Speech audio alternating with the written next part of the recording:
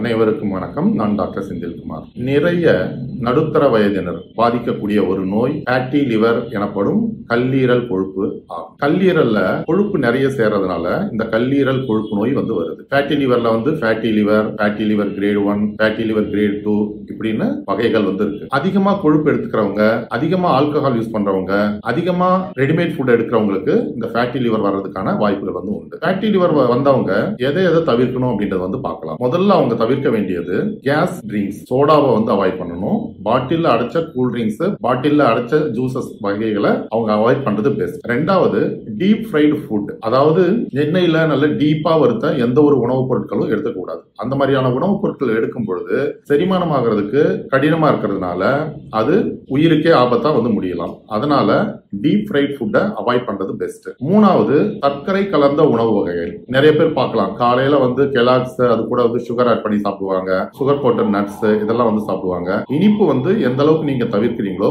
அந்த அளவுக்கு fatty liver வர்றதை நீங்க அவாய்ட் பண்ணலாம். ரெடிமேட் ஃபுட் ஐட்டம்ஸை நீங்க கம்பல்சரி அவாய்ட் பண்றது பெஸ்ட் ஆல்கஹால் கண்டிப்பா யூஸ் பண்ணக்கூடாது. ஏன்னா ஃபேட்டி லிவருக்கு வந்து alcohol one of the major reason இதுல வெஜிடேரியனுக்கும் ஃபேட்டி லிவர் வர்றதுக்கான வாய்ப்புகள் உண்டு. அவங்க நிறைய பாட்டில் அடைச்ச ஜூஸ் குடிக்கிறதுனாலயோ சோடா குடிக்கிறதுனாலயோ கூட இந்த ஃபேட்டி லிவர் வந்து வரலாம். நான்வெஜ் எடுக்கிறவங்க ஃபுல் ஃபேட் நான்வெஜ் எடுக்கிறத அவாய்ட் பண்றது பெஸ்ட் ஓகே இப்ப ஃபேட்டி லிவர் இருக்கு அப்படின்னா என்னென்ன ஃபுட் மெயினா ஆட் பண்ணலாம் அப்படின்னு பாத்தீங்கன்னா முதல்ல மஞ்சள். மஞ்சள்ல வந்து குர்க்குமின் இருக்கிறதுனால இது இயற்கையா நோய் எதிர்ப்பு தன்மையை அதிகப்படுத்தி செரிமானத்தை மேம்படுத்தி கல்லீரல் நல்லா செயல்பட வழிவகுக்குது. உணவு வகைகள் சமைக்கும் பொழுது நீங்க அதுல அரை ஸ்பூன் அல்லது ஒரு ஸ்பூன் மஞ்சள் சேர்த்து நீங்க சமைக்கிறீங்க அப்படின்னா அது நோய் எதிர்ப்பு தன்மையை அதிகப்படுத்தி செரிமான திறமையை அதிகப்படுத்தி உங்களுக்கு ஃபேட்டி லிவர் வரதை ப்ரிவென்ட் பண்றதுக்கு ஹெல்ப்ஃபுல்லா இருக்கும். ரெண்டாவது கிரீன் டீ அல்லது பிளாக் டீ அல்லது பிளாக் காஃபி சர்க்கரை எதுவும் சேர்க்காம நீங்க கிரீன் டீயோ பிளாக் டீயோ அல்லது பிளாக் காஃபியோ நீங்க குடிக்கிறீங்க அப்படின்னா உங்களுக்கு அது ஃபேட்டி லிவர் வரதை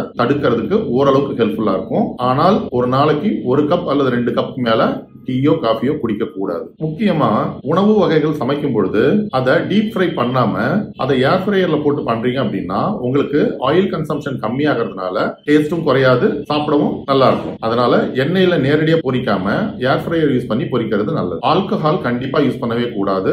ஆல்கஹால் யூஸ் பண்றீங்க அப்படின்னா ஃபேட்டி லிவர் உங்களுக்கு அது லிவர் சிரோசிஸோ லிவர் ஃபைப்ரோசிஸோ மாறக்கூடிய வாய்ப்புகள் வந்து உண்டு. அதனால ஆல்கஹால் யூசேஜை கம்மி பண்ணிக்கோங்க. தயிர் வந்து சேர்த்துக்கலாம் நீங்க. தயிர்ல உள்ள சத்துக்கள் கல் கல்லீரல் கொழுப்பு சேர்வதை தடுக்கிறதுக்கு உதவியா இருக்கிறதுனால நீங்க தயிர் யோகட் வந்து சேர்த்துக்கலாம். என்னென்ன ஆட் பண்ணலாம்னு பாத்தீங்கன்னா கடல் உணவுகள் அனைத்தும் சாப்பிடலாம் மீன்கள் சாப்பிடலாம் பழங்கள் சாப்பிடலாம் முழு தானியங்கள் சாப்பிடலாம். ஆலிவ் ஆயில் நம்ம நார்மலா யூஸ் பண்ற கடலை எண்ணெய்க்கு பதில் ஆலிவ் ஆயில் வந்து யூஸ் பண்ணலாம். Nuts and all type of vegetables avocado fruit வெண்ணெய் பழம் சொல்லுவோம் இல்லையா அது சேர்த்துக்கலாம். தால் வந்து சேர்த்துக்கலாம். கல்லீரல் கொழுப்பு உள்ளவங்க முக்கியமா முழு கொழுப்பு நிறைந்த அசைவ உணவுகளை தவிர்க்கிறது நல்லது. ஓகே இப்ப கல்லீரல் கொழுப்பு இருக்கு நான் என்ன பண்ணணும் அப்படின்னு நீங்க கேட்டீங்கன்னா வச்சுக்கோங்க. ஃபர்ஸ்ட் ஆல்கஹாலை அவாய்ட் பண்ணுங்க.